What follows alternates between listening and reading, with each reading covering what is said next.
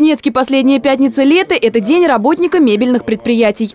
Праздник появился не случайно, ведь в городе зарегистрировано более 130 предприятий, занимающихся производством и реализацией мебели, комплектующих и фурнитуры.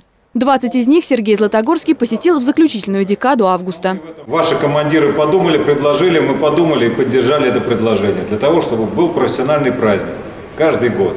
И каждый год, наверное, что-то будет новое в этом празднике. Глава администрации отметил, что именно предприятие по производству мебели – основа экономики города и фундамент благосостояния тысяч кузнецких семей.